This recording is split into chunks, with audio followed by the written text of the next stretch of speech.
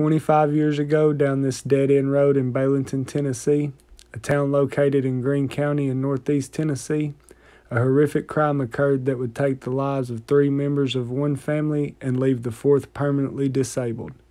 The Lillelid family. Peter, Vidar, Tabitha, and Delfina were shot and left for dead on the side of the road. The story would make national headlines with the district attorney claiming it was a satanic ritual killing. A group of troubled teens from Kentucky would be charged in the crimes. Natasha Cornett, Dean Mullins, Crystal Sturgill, Karen Howe, Jason Bryant, and Joseph Risner. We will refer to the group as the Pikeville Six. Were they a satanic cult as the prosecution claimed, or a troubled group of teenagers who ran away with a psychopath?